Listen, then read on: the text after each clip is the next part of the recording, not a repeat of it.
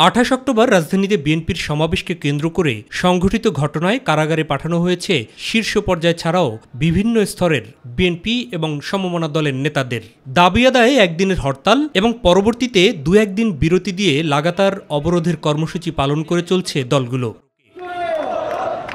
নিরপেক্ষ সরকারের অধীনে নির্বাচন এবং সরকার পদত্যাগের এক দফা দাবিতে দীর্ঘ সময় রাজপথে বিএনপি সহ দাবির প্রতি সমর্থন জানানো রাজনৈতিক দলগুলো প্রয়োজনের নির্বাচন হতে দেওয়া হবে না অনতিবিলম্বে সরকারকে পদত্যাগ করতে হবে। নির্দলীয় নিরপেক্ষ সরকারের হাতে ক্ষমতা হস্তান্তর করুন। নেতারা বলছেন গণদাবিকে আমলে না নিয়ে একতরফা নির্বাচনের দিকে আগাচ্ছে সরকার এবং কমিশন যা কোনোভাবেই গ্রহণযোগ্য নয়।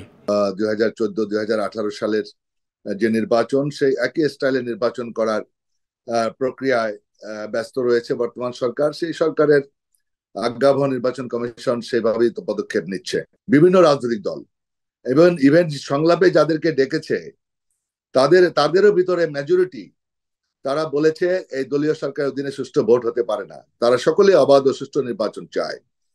তারপরেও নির্বাচন কমিশন কেন একগুয়ামি করে তারা এই প্রক্রিয়ায় যাচ্ছে? এটা খুবই দুঃখজনক।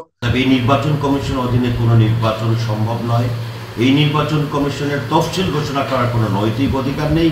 এই তফসিল যদি জোর করে যেনতন কায়দায় তারা ঘোষণা করতে চায় এই তফসিলের বিরুদ্ধে রাজপথে এই চলমান আন্দোলন আরও দ্রুত গতিতে আরও বেগবান হবে।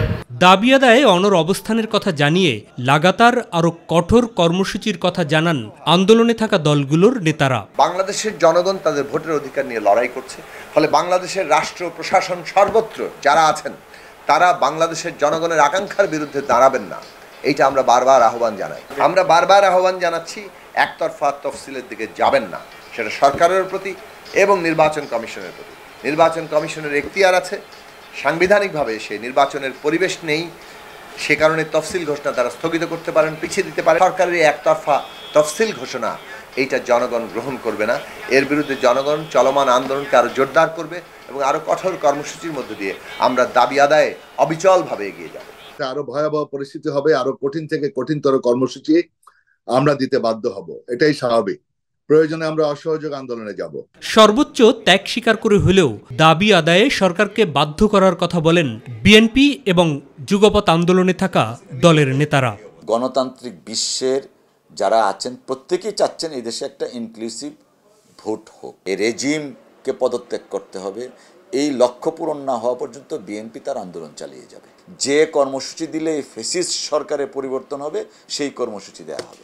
আন্দোলনের চাপে এইখানকার আহ, রাষ্ট্রশক্তি এবং সমস্ত জায়গাতেই একটা পরিবর্তন আসবে এবং সরকারও শেষ পর্যন্ত বাধ্য হবে জনগণের দাবি মানতে দেশে সুষ্ঠু নির্বাচনের জায়গা। Mahbub Saikat my TV Dhaka.